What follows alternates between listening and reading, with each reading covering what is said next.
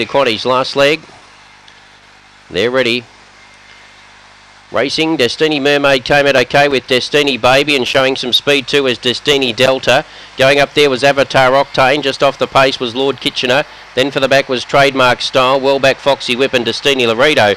Down the back straight, Destiny Mermaid, the front runner, a length and a half. Destiny Delta's there at the right time at about four lengths, Destiny Baby. Then on the outside, Trademark Style. Coming up around the home corner, Destiny Mermaid still doing it okay. Two and a half, Destiny Delta. Up the home straight though, Destiny Mermaid's doing it well. Wins it by three, Destiny Delta second. Third placing goes to Trademark Style and then Destiny Baby. And behind those, Destiny Larita.